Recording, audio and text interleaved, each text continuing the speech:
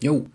So um seeing as I'm making all these videos lately, um, more about audio and stuff, but I'm gonna broaden it eventually to a lot of 3D and art stuff that I do.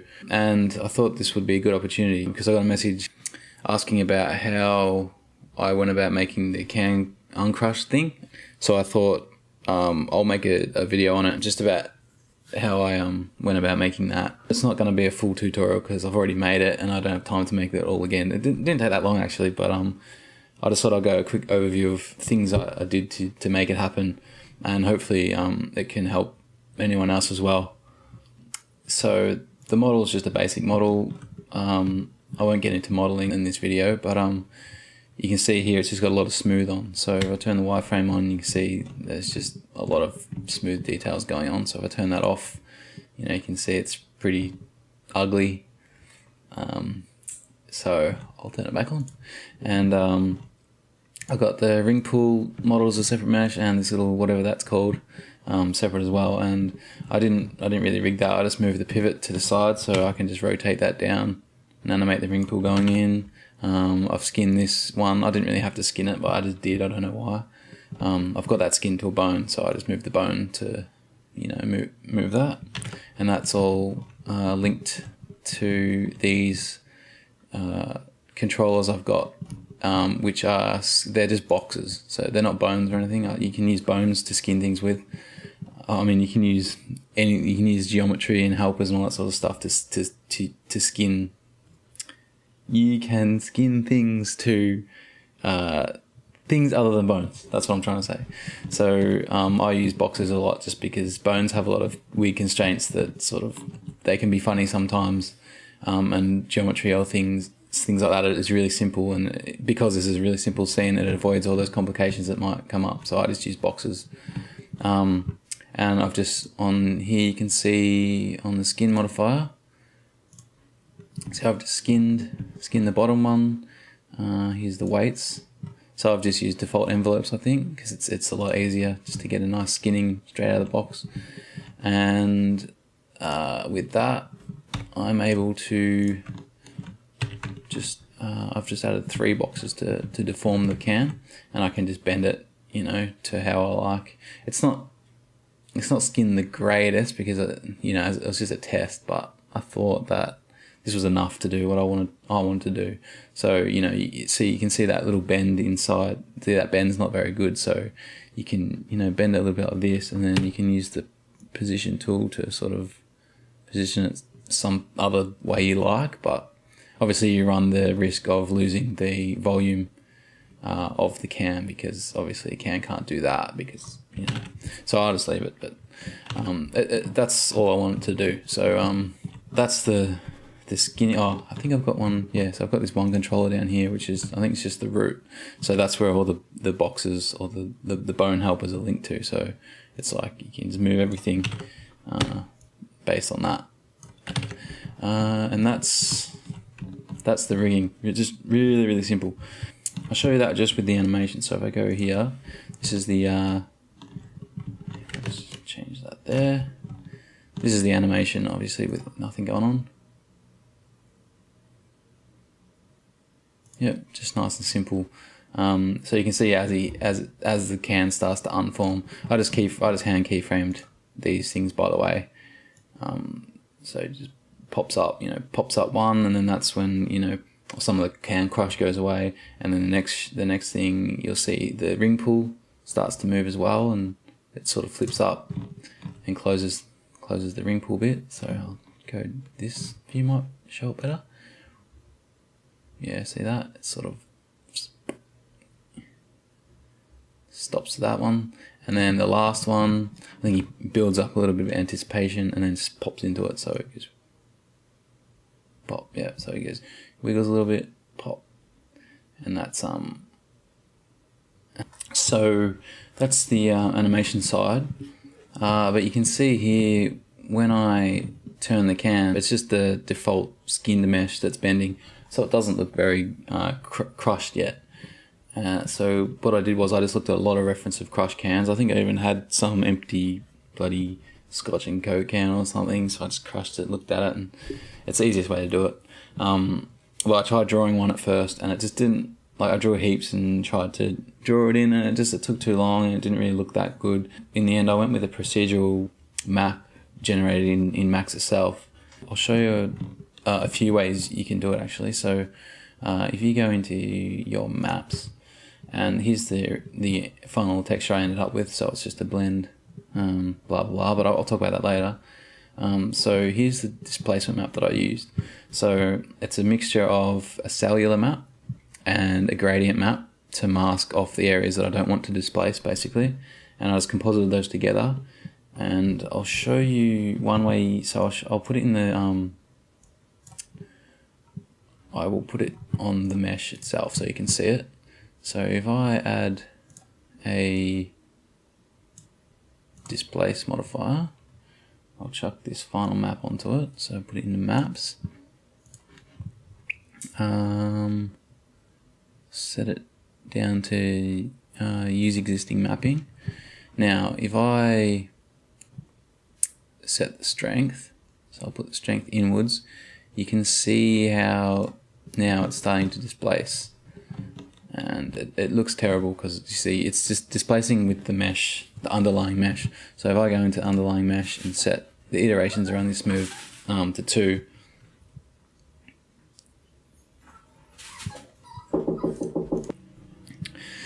sorry, had a visitor, and um, now someone's out there going crazy with their lawnmower, so I can hope that doesn't make it any worse. Anyway, so what was I? Iterations, yeah. So my iterations are only set to two, so you can see the little jaggedy, jaggedy edges there. Um, if I go wireframe, see the mesh is really, it's not very dense. So if I raise that, it'll smooth it out a bit. Um, but obviously, you know, you have to increase the segments.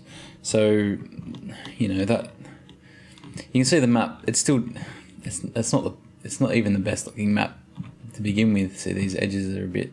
You know, I could work on it a lot more. See this bit in here. That these bits look cool. See there. That that's what I was going for. This sort of indent bit, and these bits here. Um, so you know, in a perfect world, I'd go in and I'd smooth all these out. I'll you know make these edges more creased and you know make make it a better looking map from the procedural one.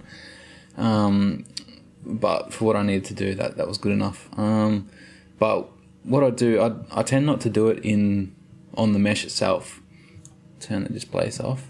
So what I do is I go into the materials, and uh, I'll give this material. I'll just get another Arch and Design material.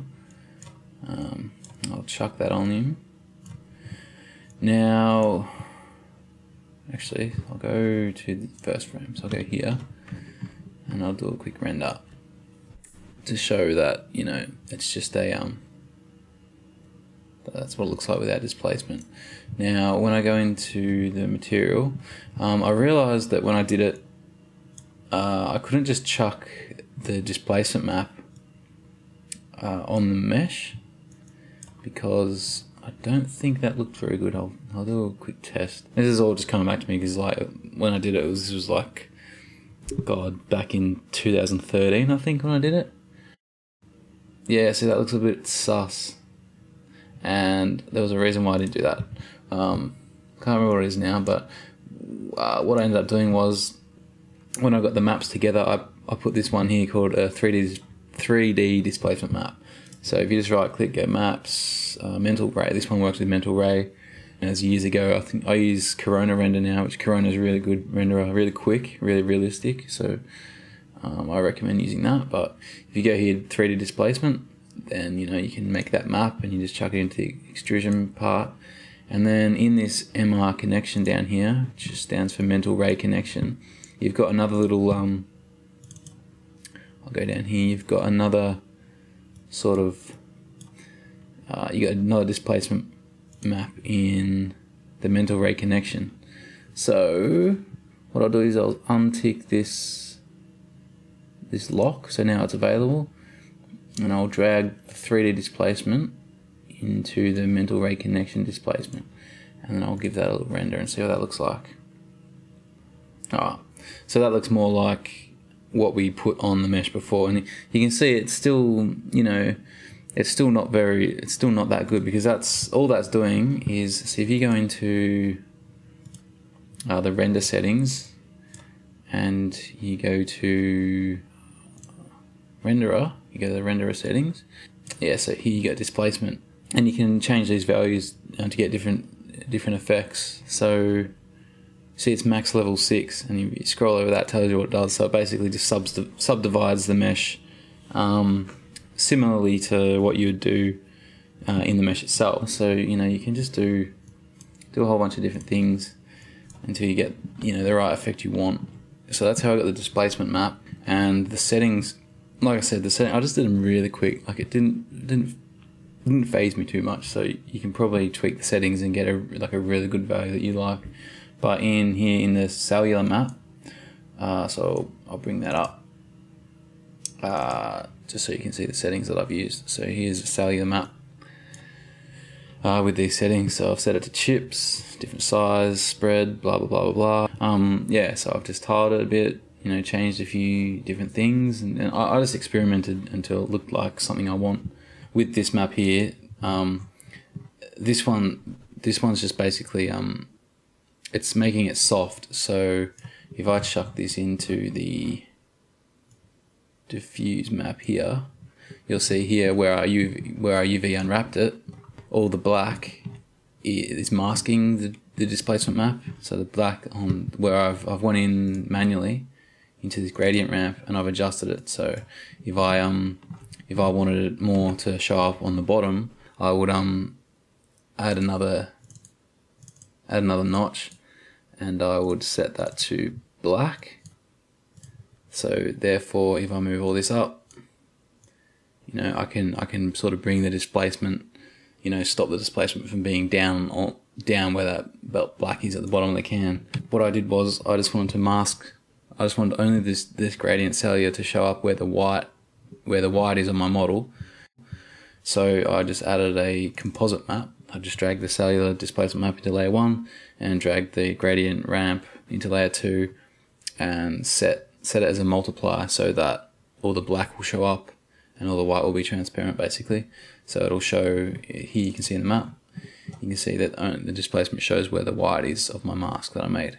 And that's, I'll just chuck that into um, the displacement map through that. And so you can see as I animated it into its little stages of, of um, you know, decrushing, um, it'll start off in here. I think I animated, I just animated the extrusion strength. So here's 1.5 so what I've done is basically I started at, at 0 at minus 2 and then as stage 1 comes I've just keyframed it to uh, keyframed it down. You see there keyframed it down to 1.5 then the next stage it keyframes down to 1 then it keyframes down a bit more. As it's as it's doing that it sort of decrushes it more and then pops back to 0 and it's got no displacement. So that's basically, you know, you just animate animate it by hand. Obviously, you can set up controllers if you want to say when the bone when the bone turns this far, the displacement map kind of shows up that far. But that's just getting way way more in depth than I needed at, at the time. So. Um, and for something that I didn't even really use for anything, I just did it because I was bored one afternoon. Uh, but anyway, with the material, um, so this is the actual material. I'll, I'll chuck that on here. So you can see um, got this little Coca-Cola map and I'm pretty sure I just, where did I get that from? Uh, this one. So I just downloaded that somewhere off the internet. So here's my little UV map. So it can, see there you go. So it just goes up to um you know, it's around the, the edges and then the top bit's just grey. I just left that because I think I'm just using the material as a, as a, like a brush metal for that. I use a multi uh, sub material. If I go here and I can go select, select by ID, select ID one, you'll see that only the top and the bottom of the can select because ID one is metal. And if I go to select ID, you can see that the label is ID two. Uh, what that means is in here I just put the label into, I made the sub material, put the label into two and the metal into one and it'll just go to the right spot. Um, I also made a little bump, I made like a little um, bump map texture, which I just did in Photoshop. Uh, so you can see here, you can see these little lines I put there as well. Just I looked at a can really closely in the light. It might have been that one can. I don't, don't know if they all do it, but I noticed these tiny little lines that you can see um, that create a little highlight bump, and I just sort of you know use this whole thing um, just for a little bit of difference. Um, and it seemed effective enough. Um, yeah, but that's that's about it. I mean, I could do a such a better now. And looking at it now about the dis- how I did the displacement and everything, I'm thinking, geez, I could have done such a better job of that displacement map. So maybe I'll um, do another one at some point and uh, see how that goes. But uh, you know, for now, you know, little can crushing, eh? Anyway, there's probably so much. There's probably he- uh, heaps I haven't mentioned or talked about. Um, just let me know if there's anything else I can help you with, and I hope that helps in any way at all. And thanks for watching.